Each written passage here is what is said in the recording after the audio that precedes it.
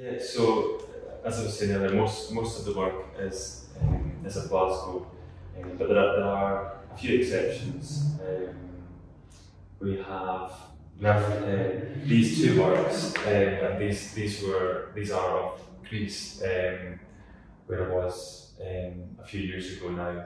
Uh, th- this one's actually uh, an urban scene as well, and it came from a memory of my, my first night in, in Greece, in, in Athens. Um, and what, I was trying to capture is that feeling of arriving in a city um, at night and everything seeming just uh, slightly more um, dark and unknown and um, and not unsettling, but yes. Uh, Yeah, I can picture it. Yeah, you, you've, you've got your suitcase. You're not quite sure where you're going. not quite sure where to go, exactly that, and uh, and it, it also kind of feeds into the um, suburban uh, theme of, of the exhibition, um, and yeah, maybe as a, a slight counterpoint to the to the Glasgow work.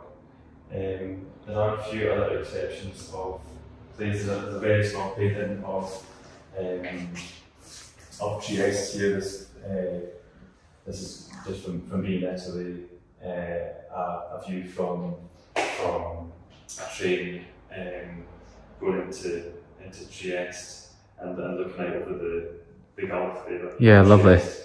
Um, there are also these are all there's this this piece of uh, Edinburgh Botanics. So this piece um, is between two of the uh, hothouses, and again, it's not it's not strictly suburban, I guess, but so it's a little bit of an outlier in the show, um, but still it has that feeling of a, of a space that's in between um, one thing and, and another.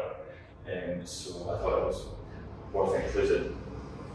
This is another, uh, I, I guess, a theme that runs through a lot of the work is one of nocturne and night, and I, I, I, I love with um, images and subjects at night because of the, the, the atmospherics you get, the different lights. So this, this piece is from North London, a place called um, Orwell Park, and it's, it's looking down into the um, into into the park at night with these kind of lights from the from the city.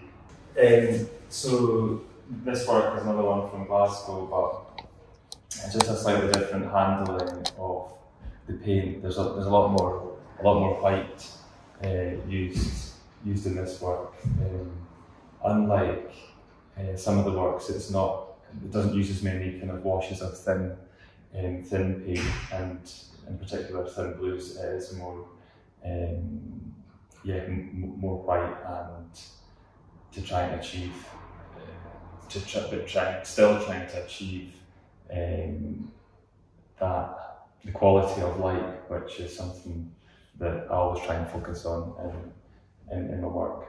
Um, and yeah, so this, this piece again is of Glasgow, it's of um, a, a burn running through uh, running through one of the suburbs. It's actually quite quite far out at the, at the edge of the of the city.